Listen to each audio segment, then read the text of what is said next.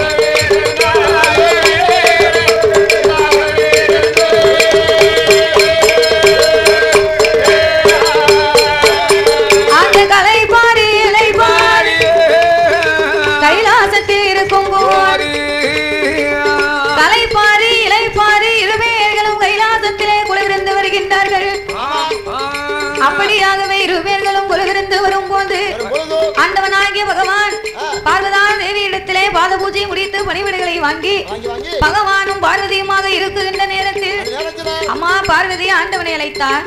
ஆண்டவா பரம்பொருளே இறையிலும் உலகத்திற்கும் இறையலுக்கும் இறைவா. இந்த உலகமெல்லாம் நீங்க படியிறந்து வாருங்க. அப்படி உலகமெல்லாம் நீங்க படியிறந்து வரும்போது உலகத்தில் உள்ள மக்கள் எல்லாம் உங்களை கடவுளாகவே நினைத்து வணங்குகிறார்கள். ஆமாம் பார்வதி உலக மக்கள் எல்லாம் உடையவனாகப்பட்ட என்னைத்தான் வணங்குகின்றார்கள்.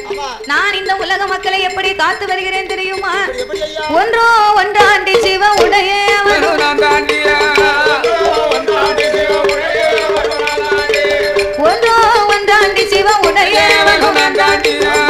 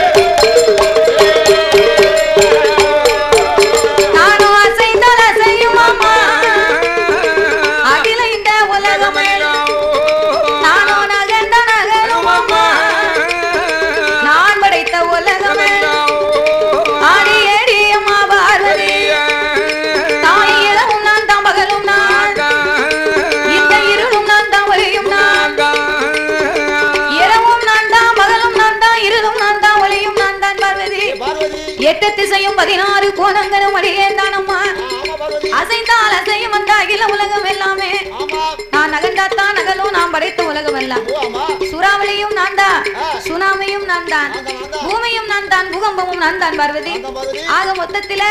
ஆண்டவன் நான் இல்லைன்னு சொன்னா அகில உலகம் கிடையாது.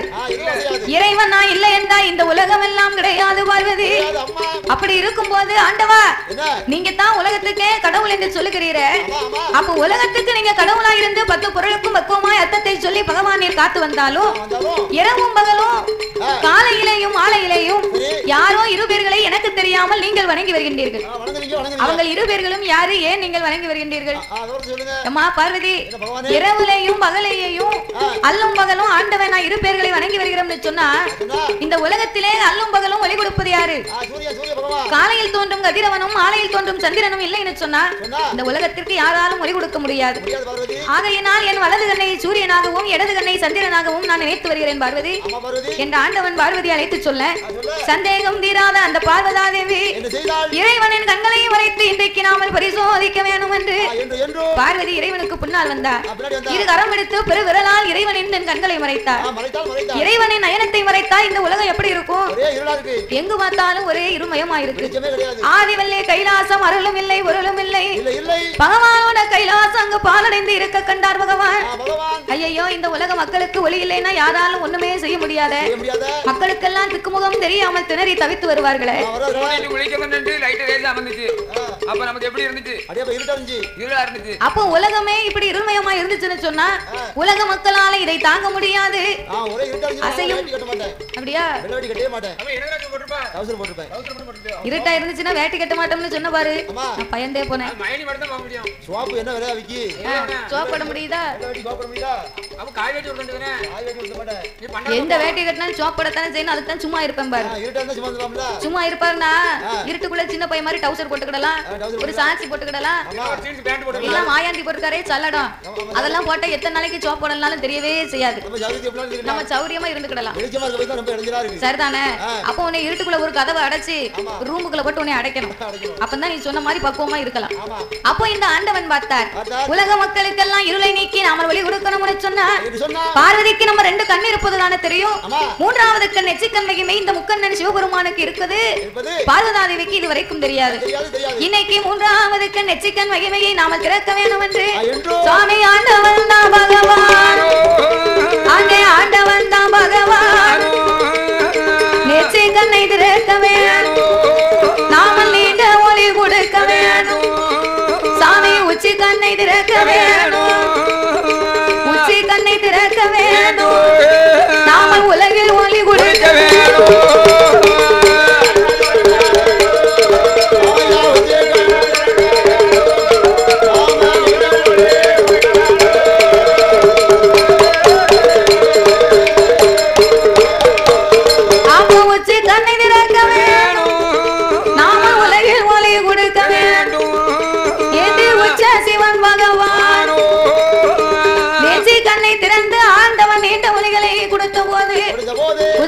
திறந்து அவர் உலகமெல்லாம் ஒளி கொடுக்க.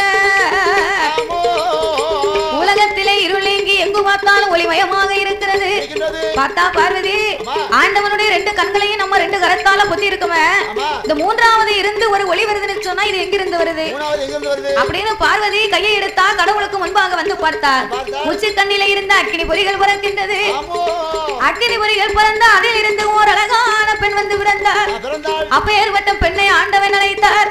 ஏ அம்மா பெண்கொடியே இறைவனுடைய உச்சி கண்ணிலே நீ அம்சமா வந்து பிறந்ததுனால இன்றைய நாள் முதலாக உனக்கு உலக சக்தி உச்சி மாகாளி என்று உன் பெயரம்மா? வரம் கொடுத்த ஆண்டவன் வடக்கு வாசலில் அமர வைக்க. ஆண்டவன் ஆங்காரம் கொண்டு கண்களை திறந்தார் இல்லையா? ஆங்காரம் கொண்டு கண்களை திறந்ததுனால. அங்கமெல்லாம் ஒரே வேர்வை இந்த ஆண்டவனுக்கு. இப்பவும் வேலை பார்த்தவங்கள பாருங்க. காட்டுல வேலை பார்க்கவங்க. புரிஞ்சு வளைஞ்சு கொஞ்ச நேரம் வேலை பார்த்தா போதும் குளிச்சத மாதிரி தொப்பு தொப்புன்னு உடம்பெல்லாம் நனைஞ்சு ஆ, வேர்வை. அப்போ வேர்வையெல்லாம் சிந்தி. உடம்பெல்லாம் வேத்துரும் நல்லா வேலை பார்த்தா. நல்லா வேலை பார்க்கவங்களுக்கு தான் வேக்கும். இந்த கள்ள உடம்பு இருக்கு பாரு கள்ள உடம்பு கள்ள உடம்புக்காரங்களுக்கு வேக்கவே செய்யாது. அப்படியா? கள்ள உடம்புனா காட்டுக்குள்ள வேலை பார்க்கும்போது தோட்டத்துக்கார் வரும்போது நல்லா முங்கு முங்கு முங்குன்னு வெட்டுறத மாதிரி வெட்டுவாங்க. பிறகு ஆள் இல்லைன்னு வச்சுக்க ஏமாத்திடுவான். மம்பட்டி தூர போட்டுட்டு சவனேன்னு உட்கார்ந்துருவாரு வரப்புல. அப்ப அவர் உடம்புல வேக்குமா? அதான் கள்ள உடம்பு. அப்போ ஆண்டவனுக்கு அறமாறு அவர் ஆங்காரம் கொண்டு அக்கினி பொறிகளுடைய வெக்கை தாங்க முடியாம ஆண்டவனுக்கு அங்கமெல்லாம் ஒரே வேர்வை. அப்போ ஆண்டவனின் வேர்வை காட்டாச்சு வெள்ளமா கரை புரண்டு வருகின்றது. பூமியிலே கலந்தால் பூமி தாங்காது பூலோக மக்களுக்கெல்லாம் உயிர் சேத வந்துருமே. என்ற ஆயிரத்தி எட்டு சடாமுடியிலே ஒரு முடியை உழைத்து அதனையே கொண்டு வந்து ஆண்டவனின் நங்கமெல்லாம் துவட்டி மீண்டும் ஆண்டவன் ஒரு கொண்டை கட்டாகவே கட்டினார். அப்பவும் அந்த சடாமுடியில இருந்து வேர்வை துளி நிற்கவில்லை. நம்ம குளிச்சுட்டு தலையில துண்டை போட்டு துவட்டினோம்னா தண்ணி நிக்குமா பொம்பளை முடி நீளமா இருக்கும் பாரு. அவங்க துண்டை போட்டு கட்டி இருந்தாலும் அப்பவும் தண்ணி நிக்கவே நிக்காது. அப்போ அதே போல ஆண்டவனே சடாமுடியானது வேர்வை துளியில இருந்து சடாமுடியில இருந்து பத்து துளி வேர்வை பூமியில விழுந்தது. அதனையும் நாமல் பத்து கடலாக மாற்ற வேண்டும் என்று. பத்து கடலாகவே மாற்றி. ஆண்டவன் அதற்கு அழகான பெயரை கொடுத்தார். அது எப்பேற்பட்ட கடல் தெரியுமா? எப்பேற்பட்ட பொங்க சம்பா தீவு கப்பால். பொங்க சம்பா தீவு கப்பால்.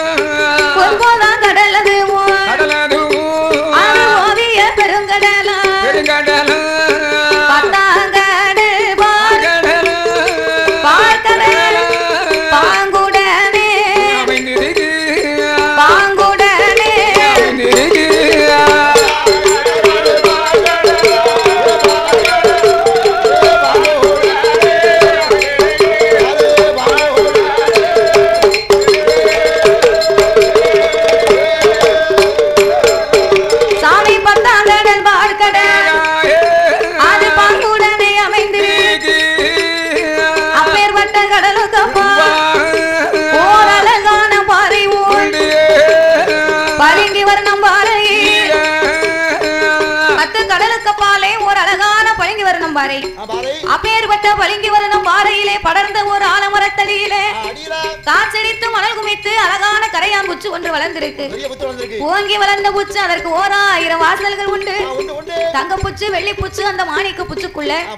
நாகலோக பட்டணம் என்று சொல்லக்கூடிய இடம் தான் இந்த பூச்சி இருக்கக்கூடிய இடம். ஏன் அதுக்கு அப்படி ஒரு பேர்னா? சென்னாகம் கருநாகம் கண்ணாடி விரிசுகள். இப்படி பாம்பின் வகைகள் எல்லாம் வாழ்ந்து வந்ததினாலேயும். அப்பேற்பட்ட அந்த நாகலோக பட்டணத்திலே பட்டணத்துல? பாம்புகளுக்கெல்லாம் ராஜா ராணியாக ஆமா. மற்ற நாகத்துக்கெல்லாம் புற்று இருக்குல்ல. புற்று வந்து வருஷக்கணக்காக கரையங்கள் சேர்த்து மண்ணை கொண்டு வந்து சேர்த்து புற்றா வளரும். புற்றா நல்லா வளர்த்த உடனே சரி. அதுக்குன்னு வருவாங்க. யார் வருவாங்க? யார் வருவா? நல்லது வரும் நல்லது. நல்லதா?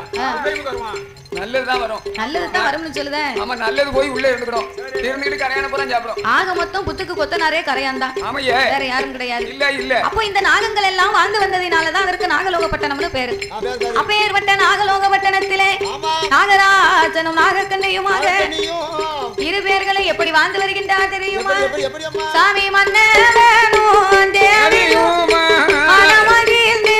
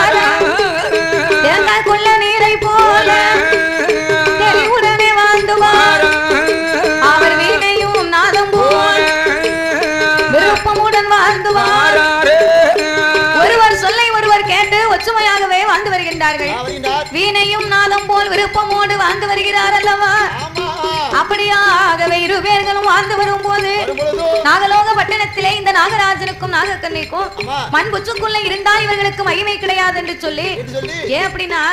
இவங்களுக்கு மனிதனை போல் தலையழகு நாகத்தை போல் உடல் அழகு தலை மட்டும்தான் மனித தலையை தவிர. உடம்பெல்லாம் அவங்களுக்கு ஒரே பாம்பின் ரூபம்.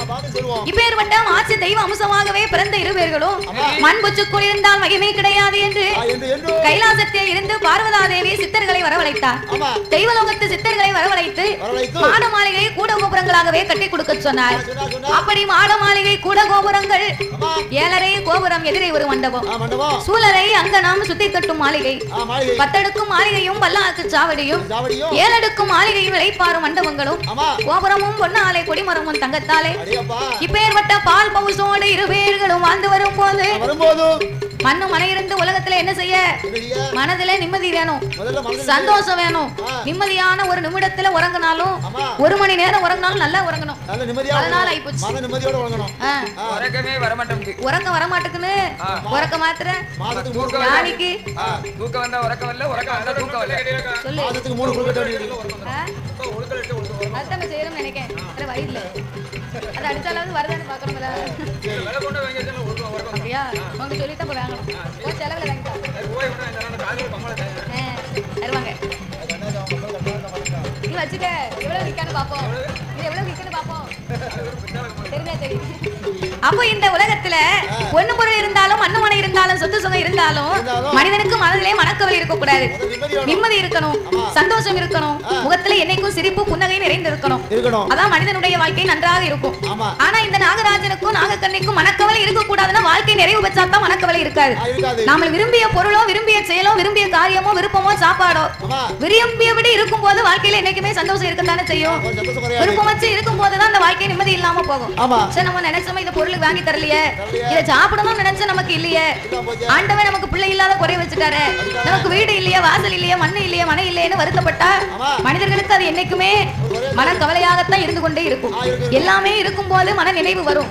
ஆனா இந்த மனிதனுக்கு எதை கொடுத்தாலும் மனது நிம்மதி நிறைவு வரவே செய்யாது. நல்ல மனுஷங்களுக்கு நல்ல மனசு இருக்கு. எதை கொடுத்தாலும் காணாதுன்னு சொல்லுதான் பாரு. அவனுக்கு எத்தனை கொடுத்தாலும் காணவே காணாது. குறை வச்சுட்டாரு குறை வச்சுட்டாரு குறை வச்சுட்டாருன்னே வரும். கண்ணதாசன் பாடினாரு. எங்கே நிம்மதி எங்கே நிம்மதி அங்கே நிம்மதி. எங்க? எங்க நிம்மதி? எங்க நிம்மதி இருக்கோ? ஆமா. கடைசி எங்க இருக்குமோ அங்கதான் நிம்மதி நமக்கு. அப்படியா? நிம்மதினா ஆண்டா வேற ஒரு குடும்பம் கிடையாது. அந்தி மகிழ்ந்தோனே அடிய. அந்தி மகிழ்ந்தோனே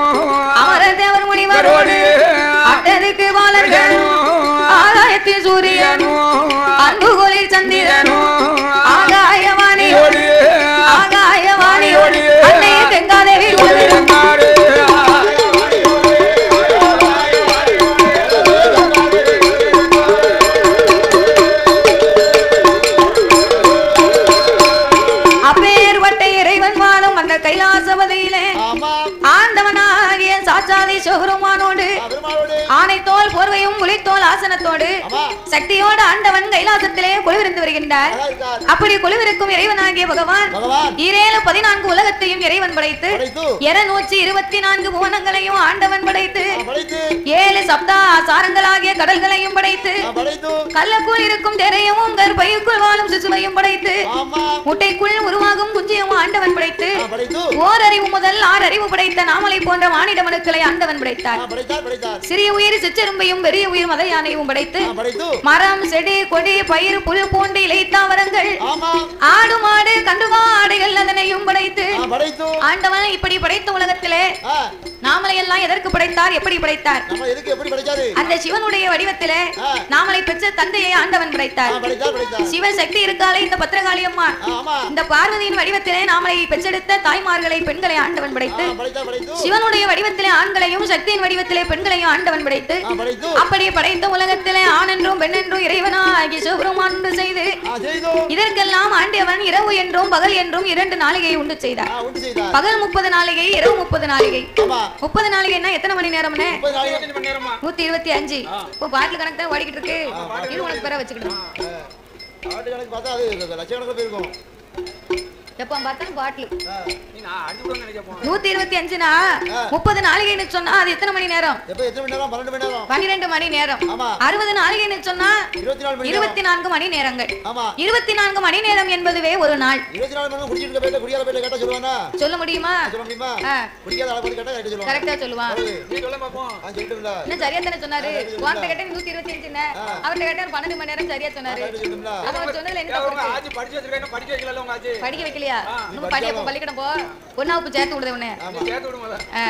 டீச்சர்ட்ட படிக்க போறியா வாத்தியார்ட்ட படிக்க போறியா? நான் மல்லிகை மிஸ்ல போய் படிக்க போறேன். மிஸ் எல்லாம் போயிட்டவோ டீச்சர் நல்லா சொல்லி தருவாங்க சார் அடிப்பாங்களாம். அப்படியா? சேர்த்துருவோம்.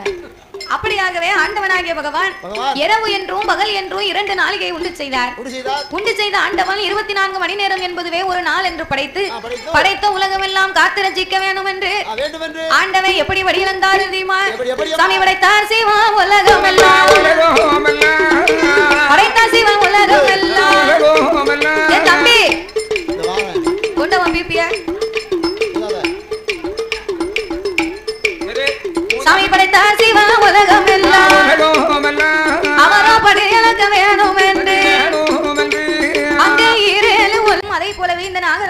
நாகக்கண்ணைக்கும் ஏந்தும் குழந்தை இல்லாமல் இருவேர்களும் மனக்கவலை கொண்டு ஒரு இடத்துக்கு போனா இன்னார் வீட்டு பிள்ளை இன்னாருன்னு சொல்லி நம்மள பெருமையா பேசுவாங்க. அப்போ பேரை சொல்லும்போது தாய் தகப்பன் யாருன்னு சொன்னா நம்ம பிள்ளை நல்ல பிள்ளையா இருந்துச்சுன்னா நாளைக்கு நமக்கு தானே பெருமை. கெட்ட பிள்ளையா இருந்தாலும் இன்னார் வீட்டு பிள்ளைன்னு தான் சொல்ல போறாங்க. ஆனாலும் நமக்கு ஒரு ஏந்தும் குழந்தை இல்லைன்னு சொன்னா இரு பேருமே நமக்கு கிடைக்காம போகுமே. அப்படி என்று இந்த நாகராஜனை அழைத்த நாகக்கண்ணே என்ன சொல்லுகின்றா தெரியுமா? என்னம்மா சொல்ற? கொல்லையில ஒரு மரமா கொல்லையில ஒரு மரமா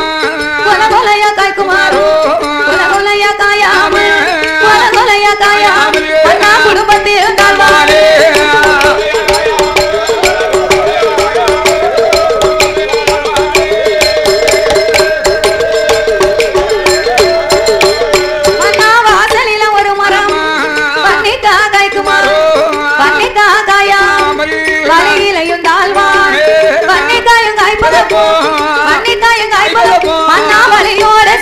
Lord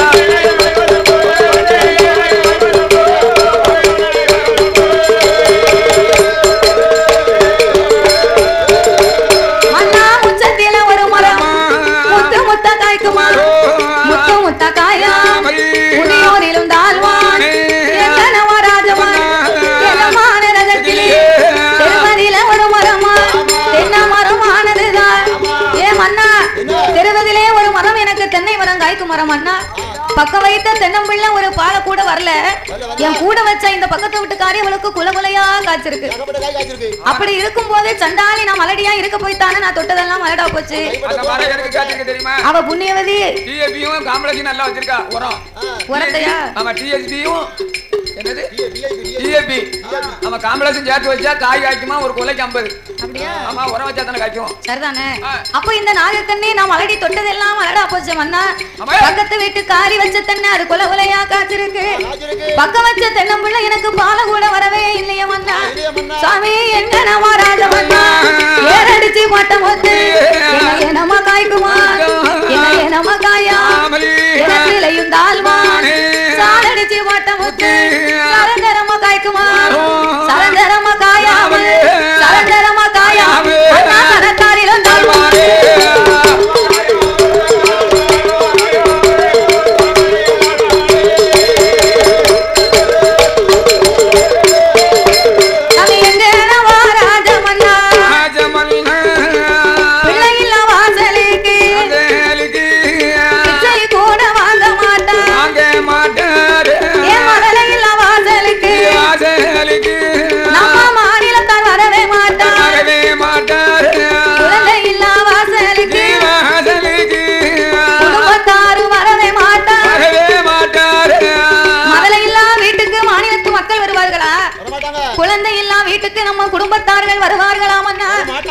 குழந்தை இருந்துச்சுன்னா சொந்த பந்தங்கள் எல்லாம் நம்ம உள்ளூருக்கு வந்தாலும். இன்னொரு கல்யாண வீட்டுக்கு வந்தாலும் நம்மளுடைய சொந்தக்காரங்களா இருப்பதனால. ஒரு பிள்ளைய குட்டி இருந்துச்சுன்னா. நம்ம வீட்டு பிள்ளை. இந்த ஊர்ல தானே கட்டி கொடுத்துருக்கு? ஒரு எட்டு நம்ம போய் பார்த்துட்டு வருவோமே. அப்படின்னு ஒரு ஆளு சொல்லும். பிள்ளை இருந்தா. பிள்ளை இல்லைன்னு சொன்னாலும் அந்த ஆள் நம்ம வீட்டு பிள்ளைன்னு யோசிக்கும். பக்கத்து வீட்டுக்காரி கூட வந்திருப்பாள் அவ என்ன சொல்லுவா? அவருக்கு பிள்ளை இருக்கா? கொள்ளை இருக்கா? அவளை போய் பார்க்க. அவ வந்த நாளையில இருந்து அப்படியே இருக்கா. அவளை பார்த்தாலும் அவன் மூஞ்சில முழிச்சாலும் மோச்சம் கிடைக்குமா? நம்ம வந்த வேலையை பார்த்துட்டு ஊருக்கு புறப்பட்டு போய்கிட்டே இருப்போம். அப்படின்னு சொல்லுவாங்க. அப்ப குழந்தை இல்லைன்னா நமக்கு குறைவு தானமண்ணா மதலை இல்லைன்னு சொன்னா உன கவலை தானமண்ணா எனக்கு பிள்ளை இல்ல சாதம் புழுவா இருக்க சாமி மதலை இல்ல சாதமா எனக்கு மருந்து போல இருக்குதை. சாமி குழந்தை இல்ல சாதமா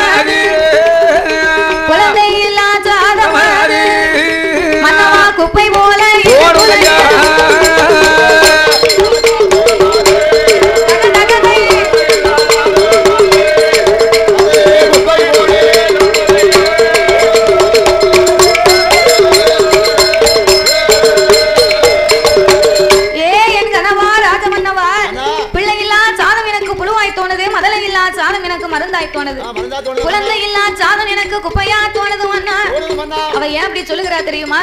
அந்த காலத்து பெண்கள் எல்லாம் அடைந்தாலும் விடிந்தாலும் காடுகரைக்கு வேலைக்கு போவாங்க. அப்ப காடுகரைக்கு வேலைக்கு போகும்போது அந்த காலம் சாப்பாடு நெல்லரிசி சாப்பாடு ரொம்ப பார்க்க முடியாது.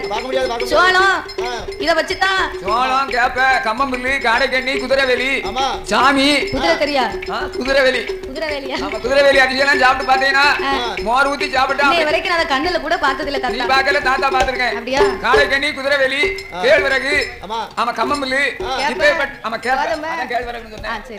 அப்பேற்பட்ட சாப்பாடெல்லாம் ஆ. அந்த காலத்துல சாப்பிட்டுருக்காங்க. குதிரை சாப்பாடு ரொம்ப விற்கும் விக்குமா? ஆமா சாப்பிடும்போது விற்கும் அப்ப கொஞ்சம் தயிர் தூக்கி ஊத்து. ஆமா சாமி சாப்பாடு வந்து நல்லா தொண்டையை தட்டாம உள்ள போயிரும். ருசியா இருக்கும். ஆமா சோள சோள கொஞ்சம் தட்ட தான் செய்யும். ஆமா. அதே மாதிரி கம்மம்பரி கொஞ்சம் தட்டாம போயிரும். ஆமா. எப்படி இருந்தாலும் தட்டாத ஆளுக்கு எப்படி கொடுத்தாலும் தட்டாம உள்ள போயிரும். நான் தட்டாம தான் போவோம். அதனால இந்த தானியத்தை பூரா என்ன செய்தாங்க தெரியுமா?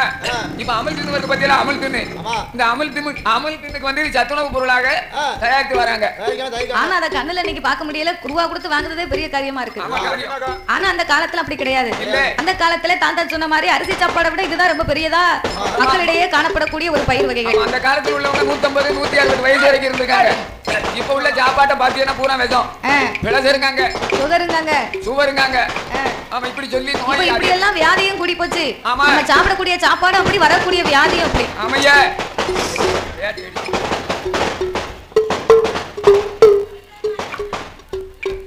அப்ப அந்த காலத்து பெண்கள் எல்லாம் விடிந்தாலும் அடைந்தாலும் காடுகரைக்கு போகும்போது இந்த சோளக்கஞ்சியும் முறக்கருவாடையும் சுட்டு ஒரு கந்த துணியில சுத்தி.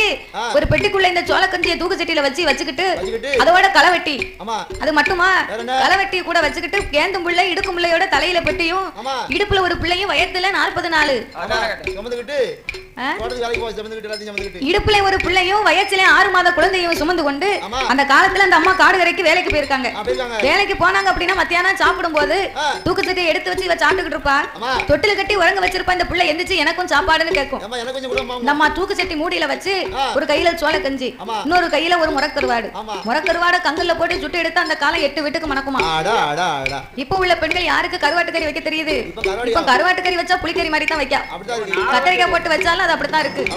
கருவாட்டு அடுப்புக்குள்ள கொண்டுச்சுன்னா சரி. கதை கதை எரிஞ்சிருக்கு கருவாட்டுனா இருக்காது. எடுக்க தெரியாது. ஆனா அந்த காலத்துல பக்குவமா அப்படி செஞ்சு சாப்பிட்டுருக்காங்க. அப்ப இந்த பையன் முறக்கருவாடு ஒரு கையிலையும் இன்னொரு கையில இந்த சோளக்கஞ்சியை வச்சுக்கிட்டு வச்சுக்கிட்டு ஒரு குடி குடிப்பான். ரெண்டு கடி கடிக்கும். கடிப்பா. அப்போ ஒரு குடி ஒரு கடிங்கையில அவன் சாப்பிடும்போது வயிறே நிறைஞ்ச மாதிரி இருக்கும். அவன் சும்மாயா சாப்பிடுவான்? ஒரு டவுசர் போட்டிருப்பான் இருபத்தி நாலு ஓட்டை இருக்கும் அந்த டவுசர். ஏர் மோஷன் இருபத்தி நாலு ஓட்டை இருக்கும் பாத்துக்கோ ஆ. மேல் சட்டை கிடையாது. கழுத்துல ஒண்ணும் போட்டிருக்க மாட்டான். கையில கால்ல ஒண்ணுமே போட்டிருக்க மாட்டான்.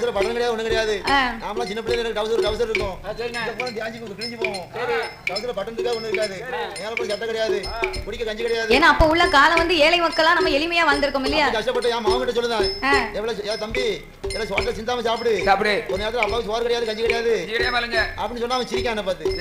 எப்படி சாப்பாடு இல்லாம இருந்திருக்கும்? அதானே. அப்படிங்க பைத்தியம் இப்ப உள்ள காலங்கள்ல வேணுங்க சாப்பாடு தூரத்தான் போடுதமே தவிர யாரும் நம்ம தூர போடக்கூடாதுன்னு நினைக்க மாட்டோம். நெல்லு சோத்தை பார்க்கணும்னா ஒரு மாசத்துக்கு ஒரு வாட்டி நெல்லு சோறு கிடைக்கும். பூரா கூழும் கேப்ப கொஞ்சம் தான் கிடைக்கும். அப்போ அதே போல இந்த பையன் ஒரு இருபத்தி நாலு ஓட்டை இருக்கும் அது மாதிரி ஒரு டவுசர் போட்டிருப்பான். பிள்ளைக்கு சளி பிடிச்சு மூக்கு வாடும். ஆ. பின்னால மூக்கு பதினொன்று ஓடும் பாத்துக்கோ ஆமா. அவன் முறக்கருவாடை சாப்பிட்டு சாப்பிட்டு. சோளக்கஞ்சியை குடிச்சிருப்பான் பாரு. அந்த முறக்கருவாடு உப்புக்கு உரப்புக்கு அவன் மூக்கு உறிஞ்சு சாப்பிடுவான். அடே அப்பா அவன் சாப்பிட்டாம்னா அவ்வளவு ஒரு அருமையா இருக்கும்.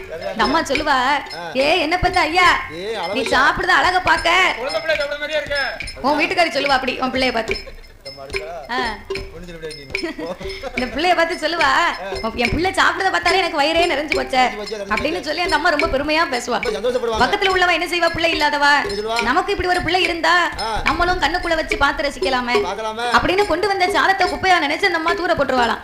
அதைத்தான் இந்த நாகக்கண்ணி பிள்ளை இல்லா சாதம் எனக்கு புழுவாய் தோணுது. மதலை இல்லா சாதம் எனக்கு மருந்துவோ அல தோணுகிறது மன்னா. மன்னா. அப்படி என்று நாகராஜ நிலைத்த நாகக்கண்ணி ஆ, நாகக்கண்ணி. சாமி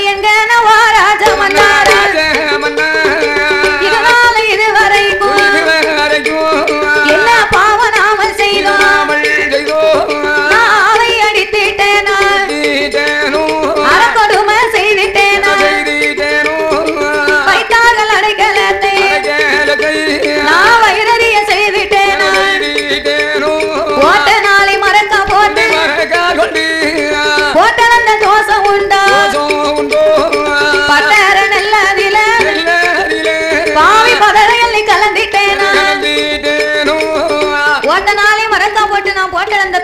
தோசம் பட்டர நெல்லில நான் பதற எல்லி கலந்தேனாமன்னா வேலைக்கு போனவங்களுக்கு என்ன பயிர் அறுவடை செய்கிறாங்களோ அதுலதான் மூணு கொத்து ரெண்டு கொத்துன்னு சொல்லி கொடுப்பாங்க. அப்போ இந்த நெல் கருது அடுத்து கொண்டிருக்குன்னு வச்சுக்க பட்டறையில கிடக்கும் போது நெல் பயிரை பாப்பா. ஆமா. இப்ப ஏற்பட்ட நெல் பயிர் அள்ளி இவளுக்கு நம்ம கொடுக்கவா? அப்படின்னு அப்படியே இந்த பதறு கல்லு மண்ணு அதெல்லாம் அள்ளி போட்டு நெல்லை குறைச்சி பதற அள்ளி போட்டு நிறைச்சிருவா ஆமா. அப்ப விரவி கொண்டு வந்தவங்களுக்கு அதுல வச்சுதான் அளந்து போடுவா பத்துக்கு அப்ப நெல்லு குறையா இருக்கும். போட்டுக்கக்கூடிய பதறு நிறைய இருக்கும். அத மாதிரி நான் பட்டட நெல்லுல நான் பதற அள்ளி கலந்தேனா? போட்ட நாளை மறக்கா கொண்டு நான் என்னைக்கும் போட்ட தோசம் இருக்கா? மண்ணா கண்டுட்டு வாலிடா. கறந்து நான் உண்டுட்டேன். இல்லை பிச்சை என்று வந்தவன் நான் பின்னால் வர சொல்லிட்டேன்.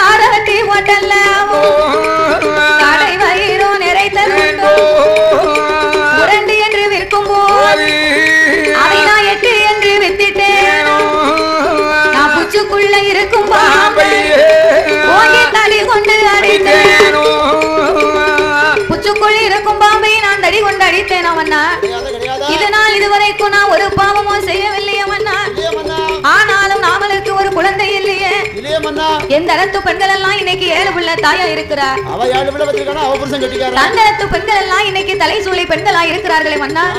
ஆனால் உங்கள் தேவியாகப்பட்ட நான் நாகக்கண்ணி. என்னோடு திருமணம் முடித்தவன் இந்த மேல வீட்டுக்காரி. நடக்க முடியல ஆனாலும் அவளுக்கு நாலு பிள்ளை இருக்கு. கையும் நொண்டி காலும் நொண்டி கணக்கு பார்த்தா நாலு பிள்ளை இருக்கு. குத்தின நெல்ல குருணி உமையா இல்ல பலம் இல்ல அவளுக்கு குருணி பிள்ளை இருக்கு. வீட்ல படுக்க கூட பாய் கிடையாது. குடிக்க ஒரு செம்பு நல்ல செம்பு கிடையாது. அவளுக்கு. குருணி பிள்ளைகள் இருக்கு. ஆனா எனக்கு எத்தனையோ செல்வாக்கு இருக்கு. உடல் நலம் நல்லா தான் இருக்கு. ஆனாலும் அவளுக்கு ஏன் மண்ணா ஒரு குழந்தை வரமே இல்லையே. மண்ணா அரைத்தது ஒரு அம்மியை சண்டாலியால சாம சாத்தினேன். நான் குத்தின உலகையெல்லாம்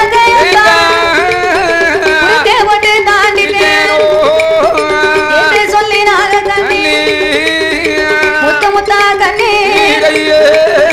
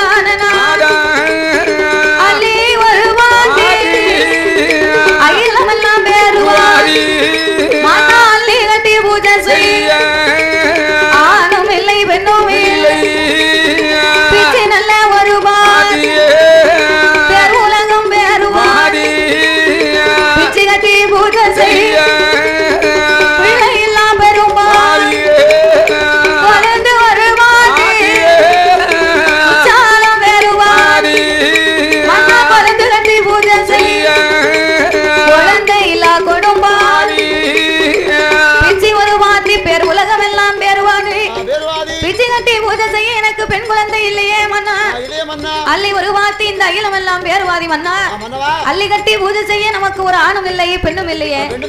ஆணுக்கு ஆணும் கிடையாது. அடுக்கலைக்கு ஒரு பெண்ணும் கிடையாது.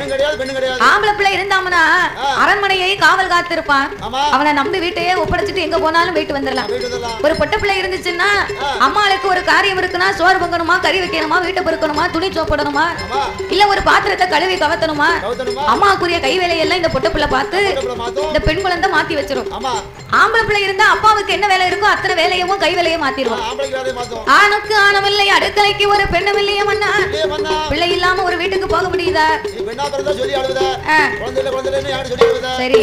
ஆனா பிறந்தா காலைல அஞ்சு மணிக்கு டீ கடையில போயிருந்து ஒரு டீயை குடிச்சிட்டு சரி. அந்த டீ குடிக்க பக்கத்துல உள்ள ஆள்கிட்ட என்ன? எனக்கு பிள்ளை இல்ல.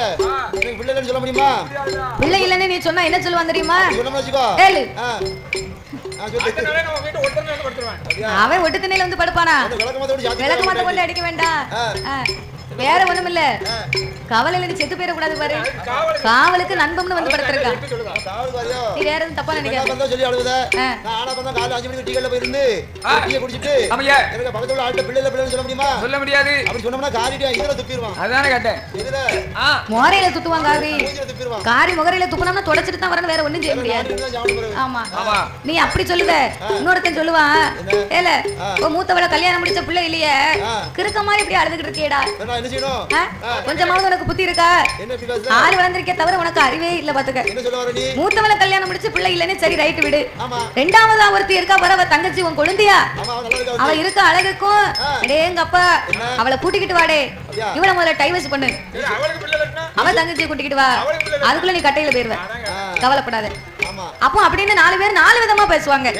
நாலு பேர் நாலு விதமா பேசுறாங்கன்னா நமக்கு பிள்ளை இல்லாம தானே பேசுதாங்க. பேசுறாங்க. அதுக்கு நாகராஜன் சொன்னாரு கேட்டு ஏ நாகக்கண்ணே நாலு பேரு நாலு விதமா பேசுவாங்கன்னு சொல்லுதியம்மா பிள்ளை இல்லைன்னு சொன்னா மலடிம்பா பிள்ளைய பத்தி எடுத்தாச்சுன்னு இவ கிளவி தானலம்பா ஆம்பளை பிள்ளையா இருந்தா பொன்னடி எத்தவாம்பா.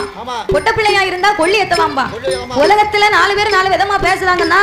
உலகத்துல வாழ்ந்தாலும் பேசும் தாழ்ந்தாலும் பேசும் ஐயகம் இதுதான்னு சொல்லியிருக்காங்க. நல்லவனா இருந்தா ரொம்ப நல்லவன் எங்க வரப்போறான். கெட்டவனா இருந்தா. கேடுகார பாவி இங்க நல்லா இருக்க போறானா? அப்படிமா அப்படிம்பா ஆமா. இப்படின்னா அப்படிம்பா அப்படின்னா இப்படிம்பா வெள்ளை வெடி கட்டி போனோம்னா? ஆ. அடே அப்பா ஒரு நேரத்தை கஞ்சிலாம் பண்ணா இப்ப எப்படி இருக்கான் பாரு. அப்படிம்பா அதே மாதிரி வேட்டி கட்டு இல்லாம கிழிஞ்சு வரைஞ்சோம்னா சரி. எனக்கு அப்பவே தெரியும். ஆ. இவன் வெள்ளை சொல்லியமா அதே மாதிரி தெரியும் இப்படி அப்போ இப்படிலாம் உலகத்துல நாலு பேர் நாலு விதமா பேசுவாங்க. ஆமா. அதெல்லாம் கேட்டா நம்மளால வாழ முடியுமா. நல்லதை சொன்னாங்கன்னா இந்த காதுல கேட்கணும். ஆமா. அதை நினைத்து கொண்டு வாழணும். கெட்டதை சொன்னாங்கன்னா இந்த காத்துல வாங்கி இந்த காத்துல விட்டுறணும். அப்படி மண்டையில வச்சிருந்தோம்னா நம்ம வாழ்க்கை சீரழிஞ்சு போகும் ஆகையினால் அம்மா நாகக்கண்ணி என்னம்மா? நீ கவலைப்படாத. ஏன் நீ கவலைப்படுத? பிள்ளை இல்லாத கவலையை தீர்க்கணும்னு சொன்னா. நம்ம தத்துக்கு ஒரு பிள்ளை எடுத்து நம்ம வளர்த்தா என்ன வளர்த்தா என்ன நம்ம பிள்ளை இல்லைன்னா சொல்ல போறாங்க ஏன் என்ன? தாங்கள் அப்படி சொல்லலாம். ஆனா நம்ம தத்து பிள்ளை எடுத்து வளர்த்தா நமக்கு எப்பேற்பட்ட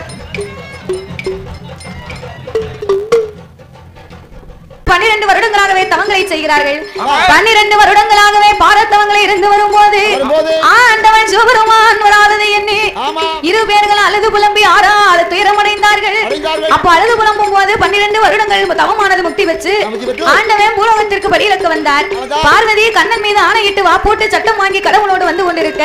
படி இழந்து முடித்தார்கள் நாகலோக பட்டணம் வழியாகவே வந்து கொண்டிருக்க.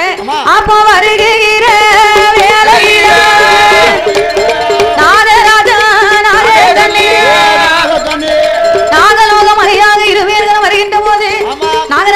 நாகராஜன் தவங்களை கண்டு பார்வதி பிள்ளை வரம் கொடுக்க வேண்டிய இறைவனை கண்டு சொல்ல ஆண்டவன் சித்திரபுத்திரன் ஐநாரை வரவழைத்து கணக்கை பார்த்தார். கணக்கிலே கை குழந்தை இல்லை அம்மா வா நம்ம கைலாசம் போவோம் என்று ஆண்டவன் அழைக்க இவர்களுக்கு மதலை கொடுக்காவிட்டால் உங்களோடு நான் நான் வரமாட்டேன் இறைவா அப்படின்னு பார்வதி சொல்ல ஆண்டவனாகிய சிவபெருமான் அப்படியானா? என்னால் குழந்தை வரம் கொடுக்க முடியாது நீ சொல்வதை போல. ஆண்டவன் நீ கொடுக்காவிட்டால் நான் கொடுப்பேன் என்று சொல்ல நீயே போய் பிள்ளையாக பிறக்க வேண்டும் என்று ஆண்டவன் சாபம் கொடுக்க கொடுக்க. நானே சென்று பிள்ளையாகவே பிறக்க முடியாது இறைவா. எனக்கு மாற்று வரங்கள் தர வேண்டும் என்று கைலாசத்திலே இருந்து எட்டு அமிர்த கலசத்தை வரவழைத்தார்கள் இருவர்களுக்கும் வரங்களாகவே கொடுக்க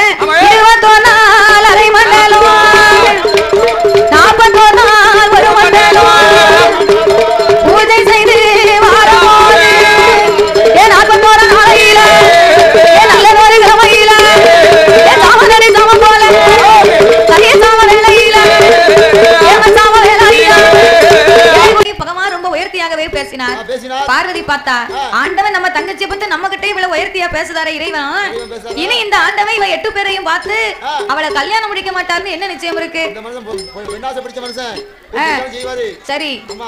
கல்லுக்கு சேலை கட்டினாலும் மாவி கண்ணை தொடச்சுக்கிட்டு பாப்பாரு அப்படி இருக்கும்போது இந்த ஆண்டவனாகிய பகவான் இனி அவ எட்டு பேரையும் பார்க்க கூடாது. அதற்கு நாமல் பார்க்காமலே இருக்கணுமானா? ஆண்டவன் இடத்தே தோழி பெண்களாக கேட்க வேண்டும் என்று ஆதிசக்தி பார்வதி ஆதிசக்தி பார்வதி அரணரோட இடமதி ஆண்டவனே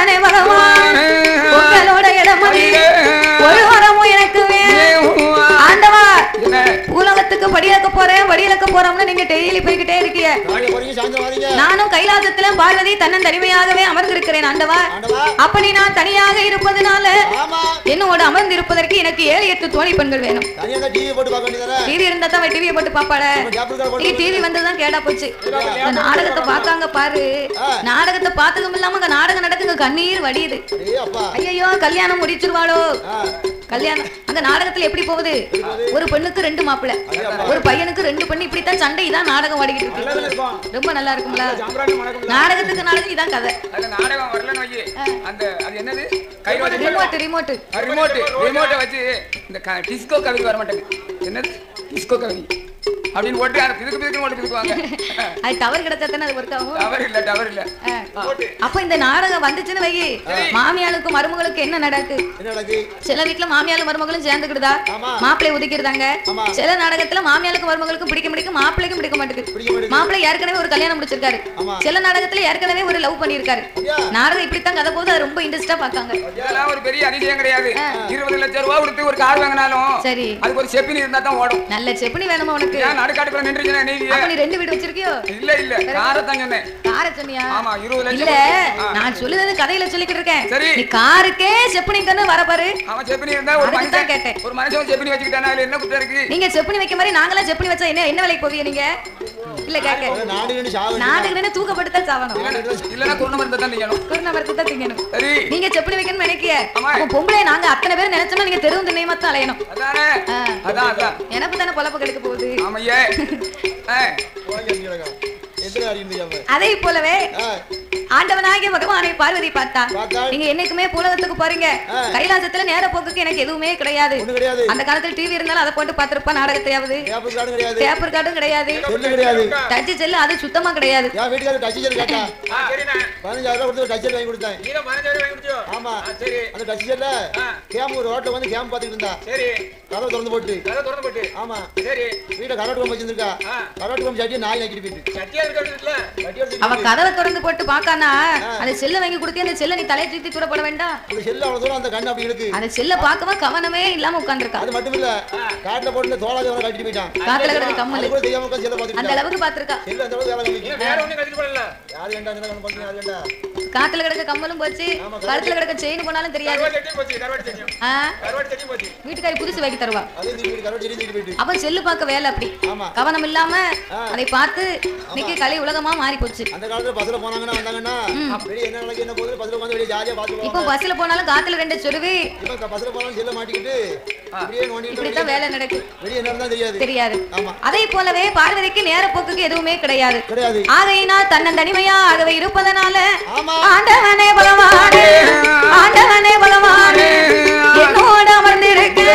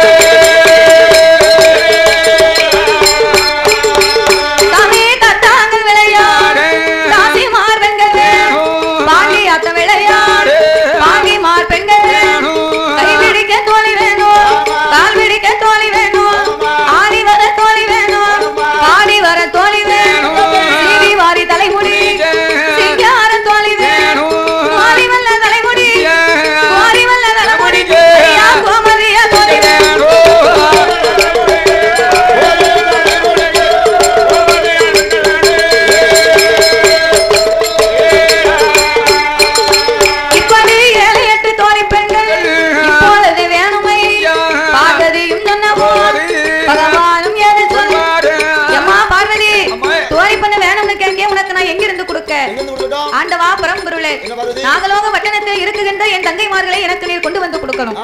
உன் தங்கையை எடுக்கக்கூடிய அதிகாரம் எனக்கு இல்லை அம்மா பார்வதி அப்படியே நான் எடுக்க போனாலும் இந்த நாகராஜனும் நாகக்கண்ணியும் பிள்ளை மேல் உள்ள அன்பை கொண்டு என் மீது கோவப்பட்டு என்னை கொத்தி கொன்னாலும் கொண்டு விடுவார்கள். அதுக்குத்தான் சொல்லுவேன் நான் போய் அவ எட்டு பேரையும் எடுக்க முடியாது. உனது அண்ணனாகி என் பெருமானை வரவழைத்து. கண்ணனால் கூடாத காரியம் எதுவும் கிடையாது. கள்ளன் இல்லைன்னா கதையும் கிடையாது. கண்ணன் தான் பெரிய வைக்கல் உலகத்துல பெரிய வைக்கல் கண்ணன் தான். ஆமா. அவர் வந்தா தான் எந்த கேஸாலும் அடிக்க முடியும். கண்ணன் இல்லைன்னு சொன்னா கதையே கிடையாது. கதைக்கு கதாநாயகனே அவர் தான் அவர் தான் அப்பேற்பட்ட கண்ணனை வரவழைத்து உன் தங்கைமார்களை சென்று எடுத்து வர சொல்லு சொல்லு. அப்படி என்று ஆண்டவனாகிய பகவான் சொல்ல அவ அப்படியே ஆட்டும் என்று ஆட்டும். அப்படியே ஆட்டும் என்று. ஆதிசக்தி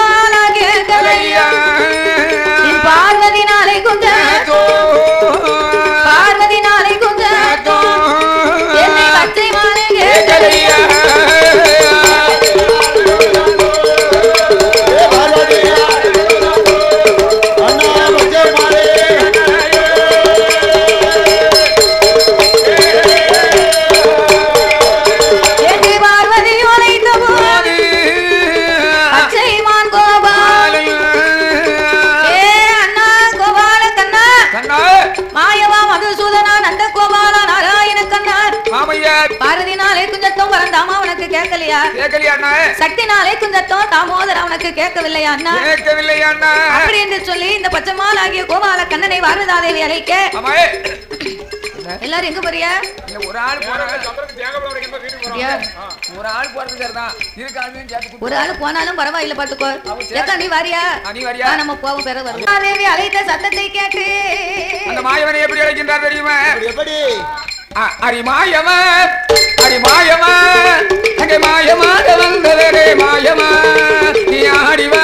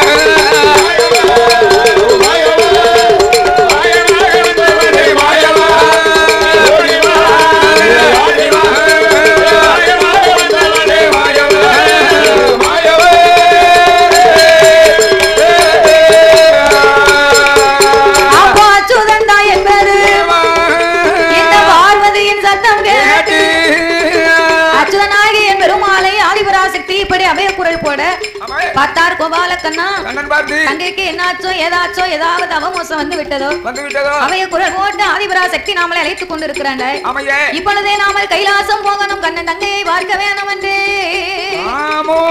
அச்சுதந்தா என் பேரும் தான் கடந்து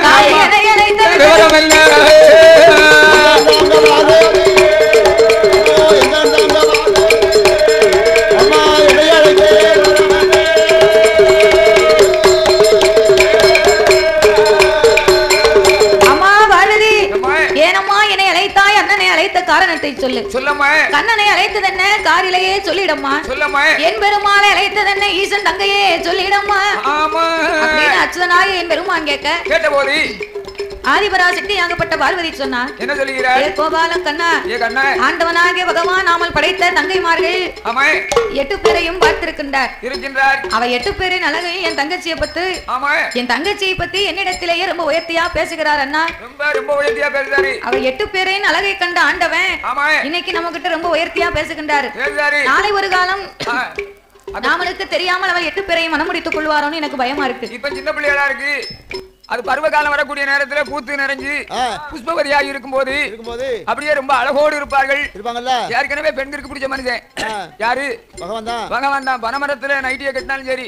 ஓடி பாஞ்சு போய் பாப்பாரு எதுக்கு பாக்காரு ஆமா எதுக்கு பெண்ணா? இது பனமரமானு இது காளியம்மாளா மாரியம்மாளா? மா- அப்படியா? ரசிக்கமானு பாப்பாரு அப்படின்னு பாப்பாரு ஏன் சாமம் போல சாமியை போய் பார்க்கணும் என்னையா இருக்கு? எந்த சாமி சொன்னா தெரிஞ்சாதானே சாமி கும்பிட முடியும்? இல்லைனாலும் பக்தியில பரவசமா வருவாரு. அதுக்கு தான் இப்பவும் கோயில் ஆலயங்கள்ல ஆ, சந்தனமாரி தங்கம்ம. பத்திரகாளி. அப்படின்னு எழுதி போட்டுப்பாங்க விவரமா எழுதி போட்டுப்பாங்க தாயே பத்திரகாளி அம்மா. எங்களை காப்பாத்தி கொடு. காப்பாத்தி கொடு. நாங்களும் வாழணும். உலகத்து மக்கள் வாழணும் அப்படின்னு சொல்லி கும்பிடணும்.